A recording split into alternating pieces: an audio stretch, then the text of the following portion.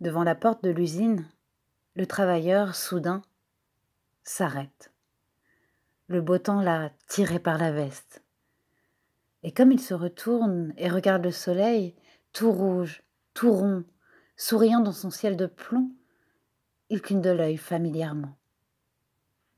Dis donc, camarade soleil, tu ne trouves pas que c'est plutôt con de donner une journée pareille à un patron?